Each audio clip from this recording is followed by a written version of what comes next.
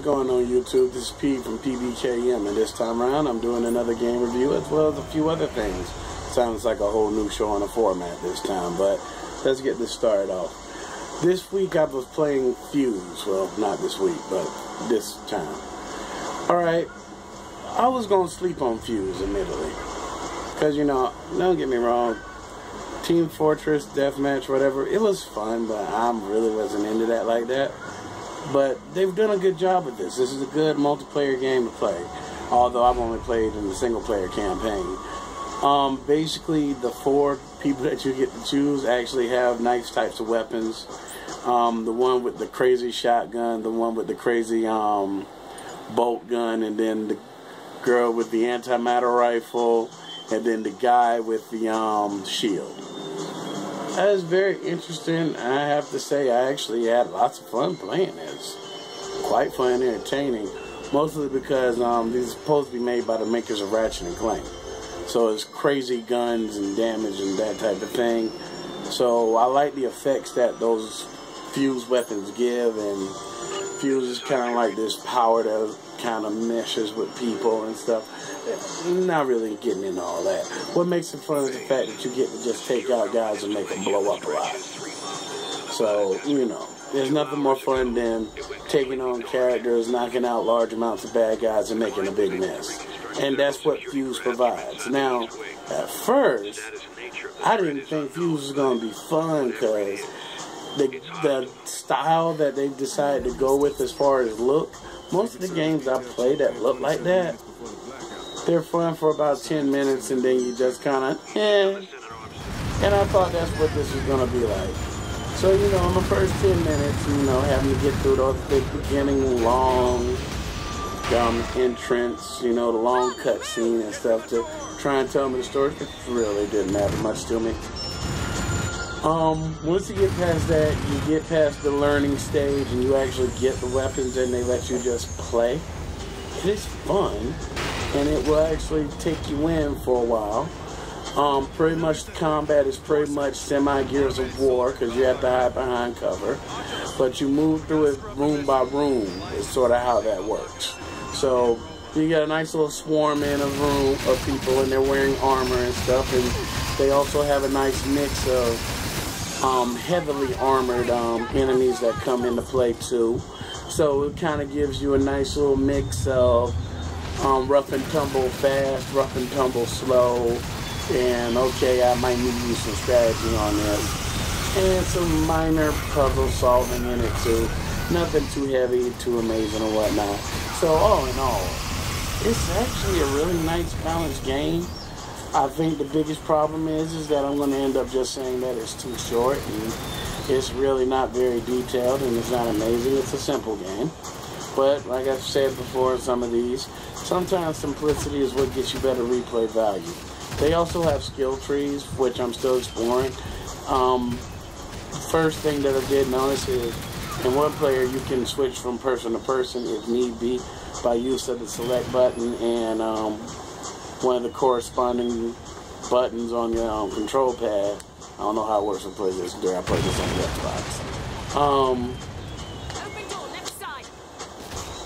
And they all level up together. So when you get skill points with one, you get them with all of them, so to speak. So that was definitely something nice. So that way I wouldn't have to play through each individual person to get them leveled out before I really like how they function. So um, that you also can buy um, like a team um, ability that the whole team gets to share. So that that's cool too. But um, all in all, just look at it. If it's your thing, try it out. If it's not so much, whatever. Um, pretty much 65 for it ain't bad. But, you know, I, am willing to throw out at least a good 40 on this. But, like, but, you know, definitely got to make sure you got some friends to play. Because, um, all in all, even though I was in the one-player mode, the only problem I had is my camera, you got locked early in stage one but I died and then that was fixed and it never happened again. Um, everything else that went on with it basically comes down to just playing and regular gameplay. Um, nothing overly crazy about it and whatnot, so that's the cool thing and that's what makes it kind of nice. So, all in all, um, probably four out of five, um, seven out of ten feels on doing that. So, you know, that's just giving you an idea how much I kind of like the way it works. Um, so that's pretty much it. Enjoy the rest of the review. And we'll be picking up additional content after the review is done. Um, so pretty much um, keep watching.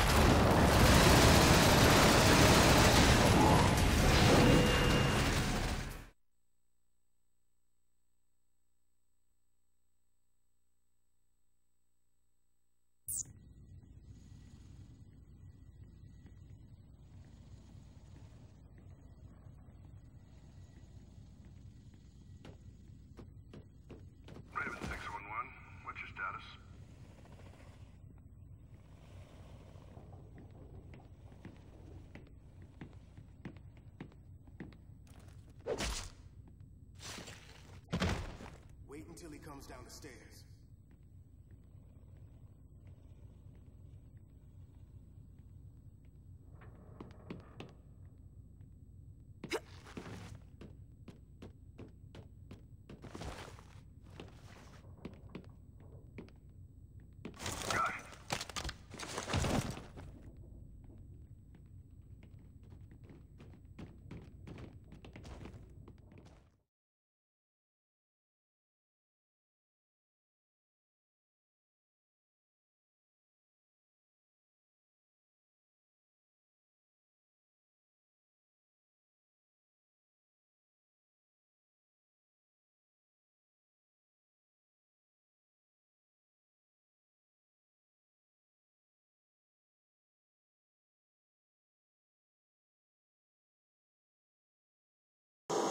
Okay, what's going on YouTube? I'm back. This is Pete. Um, this is usually where I do the updates and such, but this time around I'm going to switch it up just a little bit. Um, number one, um, I still sell AMP stuff with Amway.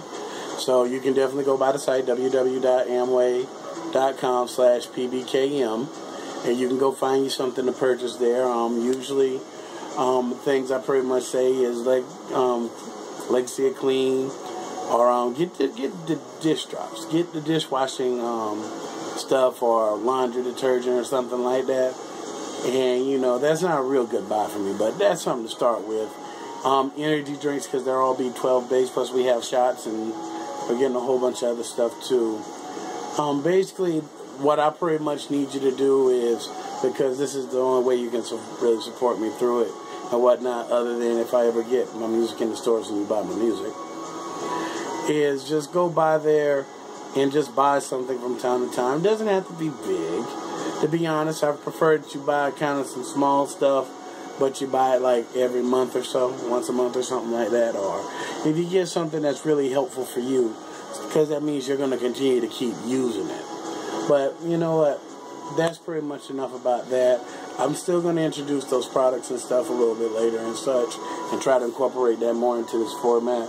But now I'm going to move to the updates. Okay, this week I've been working mostly, so I hadn't been up to a whole lot. Um, plus side is though is I did get my um, legendary um, version copy, which you cannot see because it's so dark, for Skyrim. That was the biggest thing that happened this week. Um, still waiting to pay off the Ouya because I'm definitely looking forward to that gaming console. Um, pretty much, if you want information on that, there's a Kickstarter on it. It's almost better you Google that than to have me tell you about it. But it's basically um, a miniature console that's basically Android um, powered and pretty much um, can be used as a, like an Android device slash possible set-top box depending on what apps you use and what's actually allowed in it by the time it's all done. But that's not really the point right now. Um, also, two, um, pretty much ARM and I haven't really gotten any. We've got some music done. We haven't gotten any freestyles recorded. That's our bad. But we've been watching movies again. And we know how much you like the movies. And I'm going to throw that in by the end of this, all this too. Um, but pretty much um, between work and um, the other stuff, um, I started playing Wushu. Trap got me playing um, Wushu. It is not a bad um, MMO. And, you know, you're wondering what Wushu is. It's an MMO. And right now, this is my character. Hired. As you kind of notice, I have a theme with that going on. Right now, Hired is pretty much learning the ways of Shaolin because that's the, that's the path I chose for him and we're pretty much just getting started with that now. Um, probably not very deep into this just yet, so but um, thus far as I learn more about it, I'll tell you more about this one and such. I don't know if I'm going to actually do capture on this one because some of these MMOs can be kind of hard to really explain. But the cool thing is, is now we got something coming to console. So um, I've been doing that. Um, Marvel Heroes came out um, on the 4th. So I'm going to be doing some more of that because I already started that while they were doing betas. Um, Final Fantasy um, 14 starts off the um, third tier of um, beta testing. So we get to um, go live with our actual characters, which I'm wondering how that's going to work. Because I did something not very smart, like name my new character the same name as my old character. Wasn't really thinking, just kind of going with it. Um, all in all, that's not horrible. And let's see, I have not touched DC Universe much. Um, just for the mere fact that the whole switching up the um, ways that we do our raids and everything else, as well as um, the currency to get new gears, kind of thrown me off my game. So I'm not really looking to go run back into that and trying to pick that up. Because, you know, that just feels like it's a little more tedious work for me. But, um, that and I haven't gotten into, um, Defiance these last couple of weeks just because I've been so busy doing this, that, and the other that I'm happy to just now be getting back to playing some games. And also, too, I'm trying to fit in some new segments. So this is just something I'm trying, and we're going to see how it works.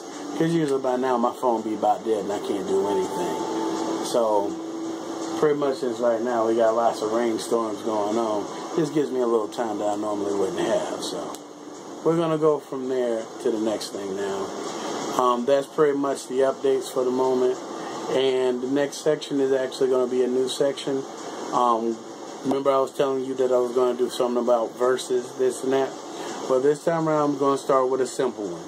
And I'm going to go ahead and tell you what it is before I just move on over into it. So that way I don't have to spend a lot of time trying to get you up to speed per se. But um, pretty much um, your fanboys are allowed to choose and it wouldn't be bad if you commented on this in the um, comment section and discuss this among yourselves.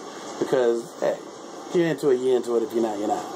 But it was one that I saw on the net, um, on one of the Facebook pages that I like. And um, basically, what it comes down to is um, in a fight, who will win? Punisher versus Red Hood. And I'm going to pretty much dig up some information for those of you who don't know to kind of put it together. They won't all be comic book um, characters are DC versus Marvel types of things. And some of these, you know, there's a fight that already um, exists. You know, feel free to comment, let us know, and maybe, you know, send us to a YouTube, you know, thing so we can see. Because that's the most important part. But um, we're going to start off with them. I'm going to go ahead and pull up some wiki information on both and we're going to do a comparison as quickly as we can, hopefully less than 10 minutes. So, see you guys in the next segment.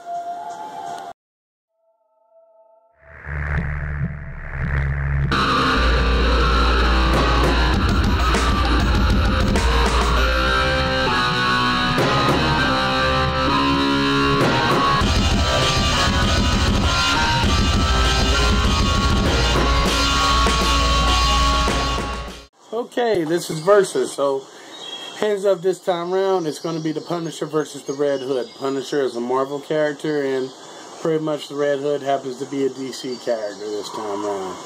Okay, so we're just going to go down some basic stuff. And none of this is really going to be stuff that per se decides it, but it kind of gives you a description of each character. We're going to start off with the Punisher, um, aka Frank Castle. Um, born Frank Castiglione.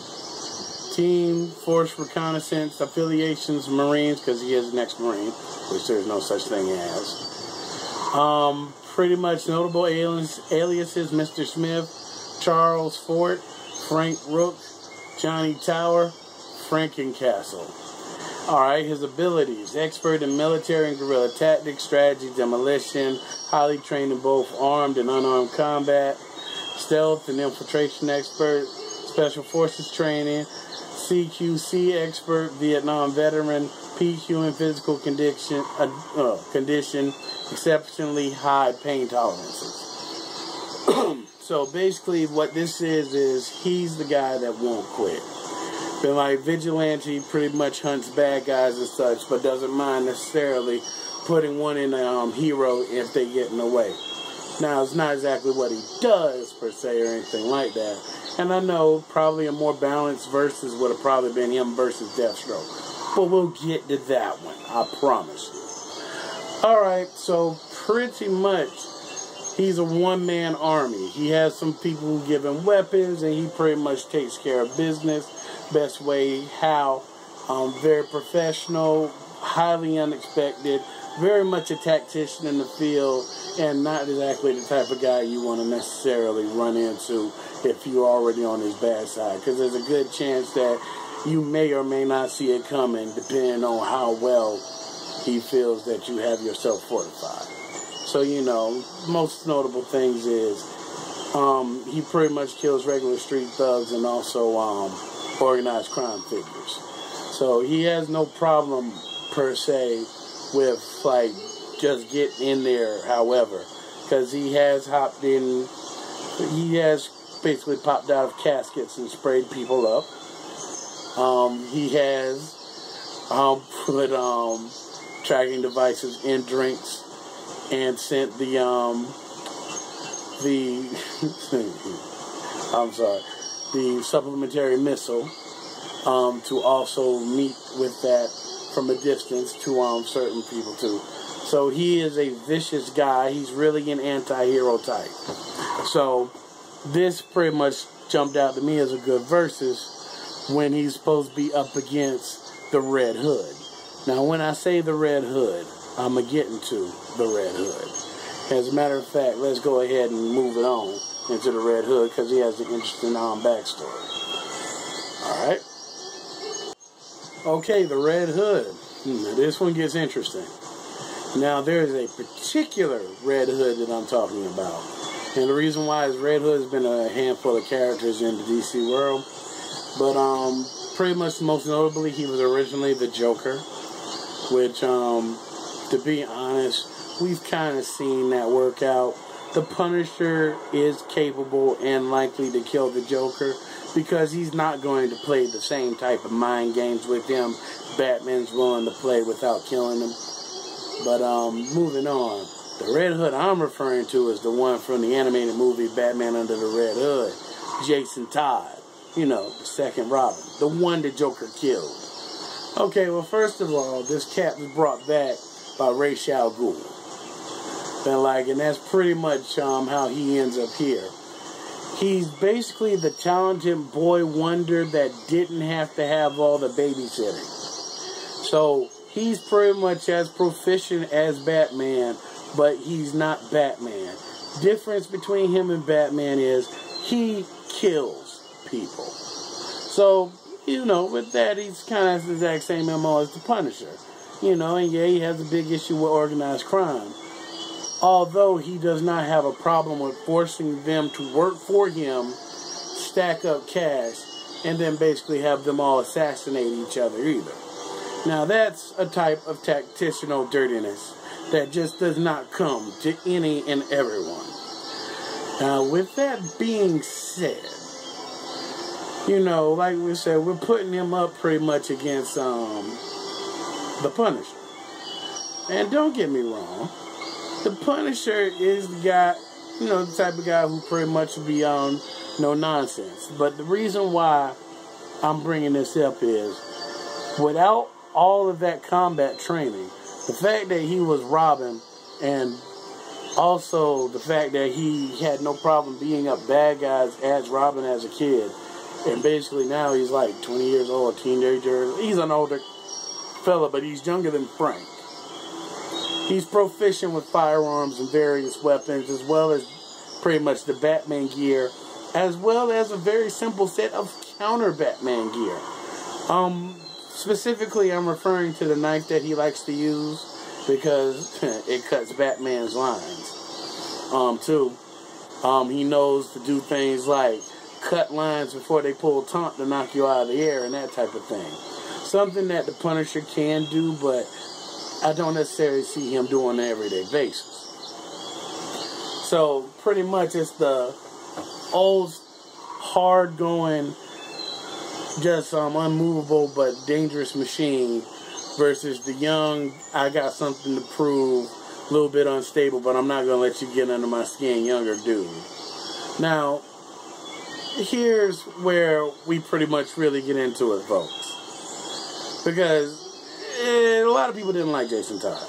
But we're going to put all that aside. And pretty much at this point, I'm going to go ahead and move into where my opinion lies. I expect some people will agree, and I expect some people will not. And you know what? That's what the comic section is working out for. So you can tell me what you like and what you don't like. So that's what we're going to do. All right?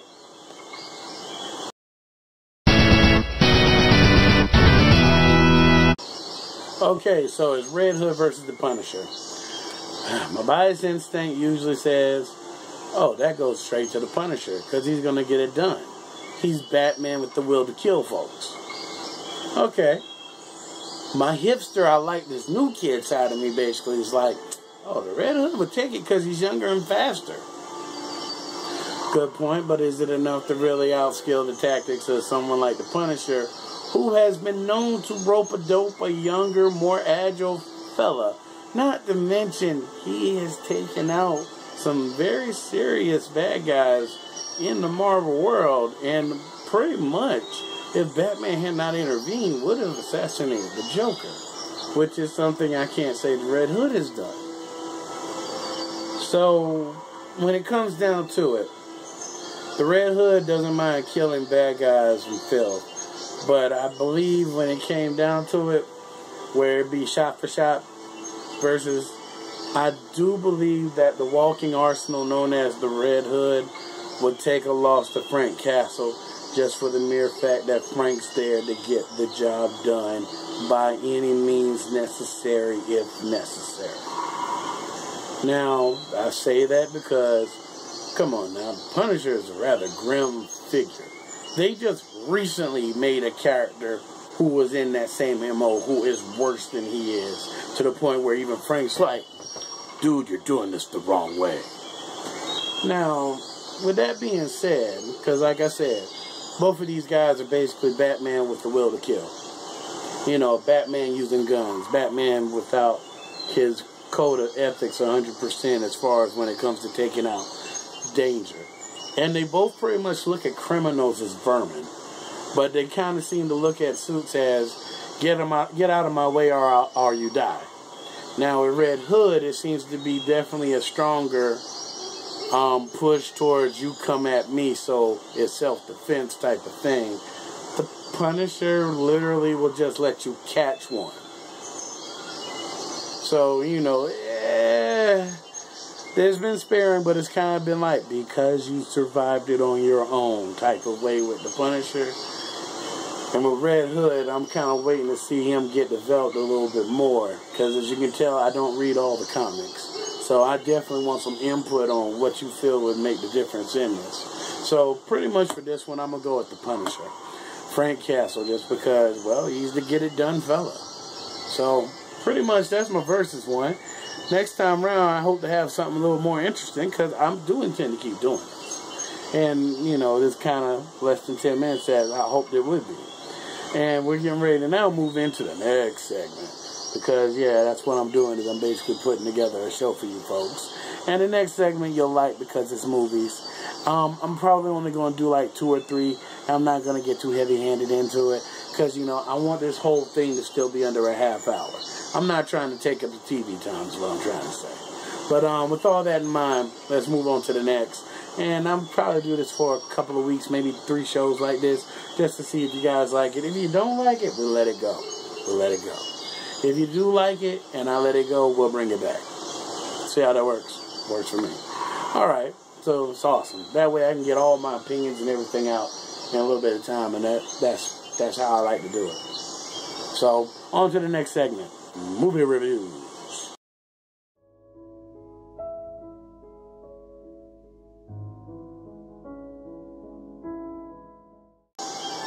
Okay, first movie on my review list. Um, this one technically is for my other page, but I'm putting it on here because I'm just lumping them together.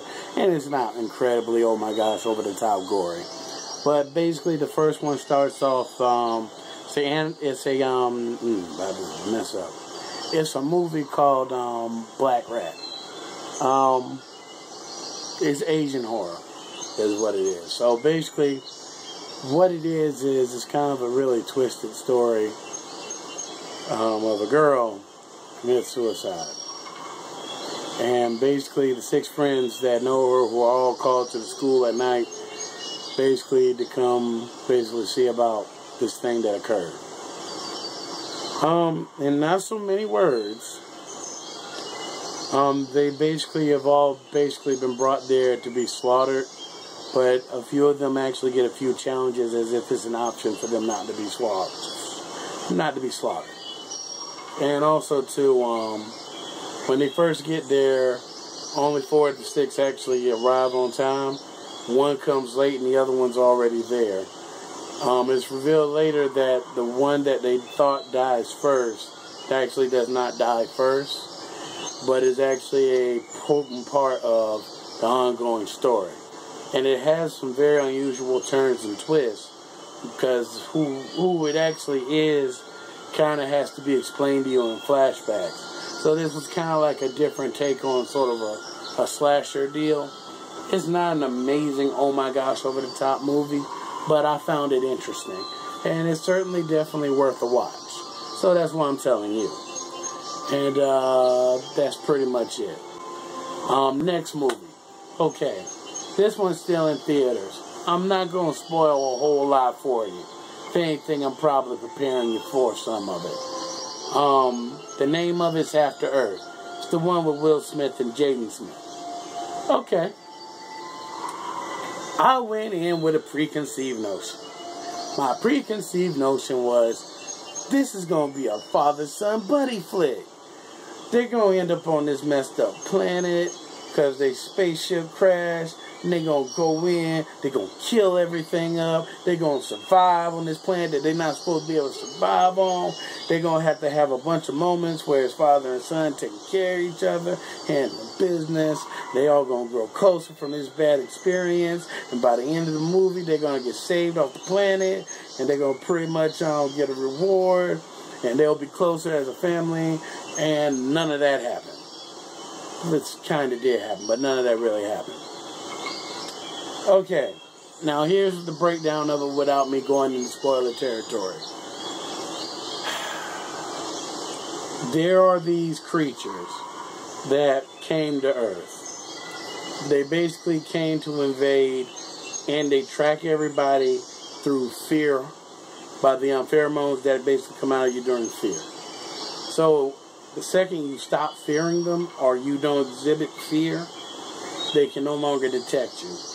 And apparently these things detect you completely by that. So they can't really see you very well and apparently don't hear very well either. But basically, since they ended up leaving planet Earth to go elsewhere, this planet Earth just became this pretty much anti we kill anything human that lands here planet. So everything is pretty much hyper bred it now to kill humans.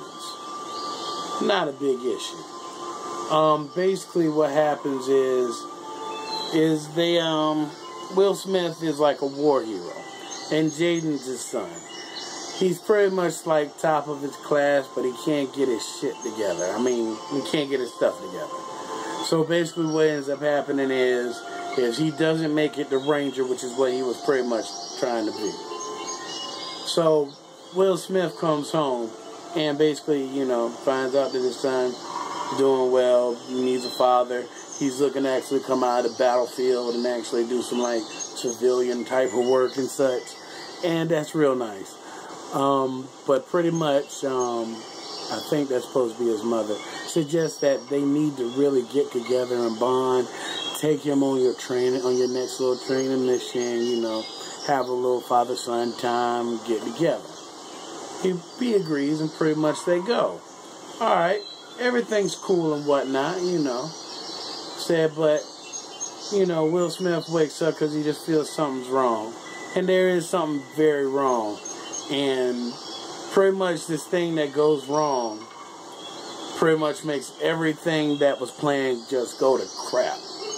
So basically, to make a long story short, they're transporting one of these creatures that can only detect you through your fear. And some of the Marines are telling Jaden about it. Jaden's listening, and he's scared to death of it because, you know, he's still a kid without combat training. He ain't got his wings yet. So, you know, that's not really such a big problem one way or the other. But here's what happens. The ship ends up falling apart and crash landing. Will Smith is able to crash land it on the planet. Planet happens to be Earth. And boy, he knows how serious it is. And he lets Jaden know off the bat, you know, look here. We only survive if we can make it out here. I tried to pretty much call off things, but there's nothing that can really be done from where I'm at. And by the leg, by the way, both of my legs are broke. So um, you need to get together, Beacon. It's quite a distance away. I'm depending on you, and I'm gonna keep up with you as you go do it. So he basically sends Jaden on this recovery mission to basically get both of them basically rescued off the planet. Okay. Cool thing is, it happens. No big issue, per se. Now, I'm really killing your spoilers here. Because Jaden has an adventure on his way to go get the, um, basically the big electronic signal flare. And he learns a lot. And by the end of it, he realizes that, you know, it's cool that Pops was this. I ain't got to live up to be this thing. I can go my own way. And also, too, fear is just in my head. Now, I really synopsized Living Daylights out of that for you. I wish the movie had been just a little bit longer and Jaden had been a little bit smarter as a character, not as a person, but as a character. Development took a little long, I felt, but all in all, yeah, it wasn't a bad movie. Okay, and let's see. I, I, I said I was going to do three. Personal issue. Call it a flaw. I don't know. But um, what we watched was a movie called Mask Maker. Mask Maker is a movie from 2010. Very interesting movie. Um, what I can tell, it's in some rural area where there's bad telephone reception. But basically, what it comes down to is we have this college student. Um, she's it's her birthday, and pretty much she's just trying to get through her day. Her boyfriend calls her up and whatnot, and he has a surprise for her. He drives her to this house out in the middle of nowhere and tells her that, hey, it's your house. I bought this in your name because I love you so much. And she's just like, oh, this is a piece of crap. Why, why, why would you do this? And then she realizes that it was for her and they're trying to move forward. So she's like, oh, okay, this is so sweet. Oh, oh, well, you didn't forget my birthday. Oh, that's so nice. Um, anyway, it's one of these things where the house is dirt cheap for a reason. Um, basically, here's how it breaks now. He bought the house on the internet. Um, pretty much, the house has not been touched for like decades, possibly a couple of centuries, but definitely at least a couple of decades. Um, basically, the family that died in the house had a lot of crazy witchcraft like madness going on. So they killed the witch, who they believe was the witch. Basically, after apparently there was.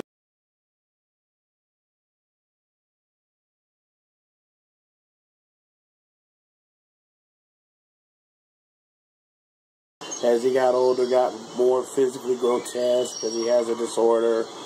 Um, basically, what it comes down to is, um,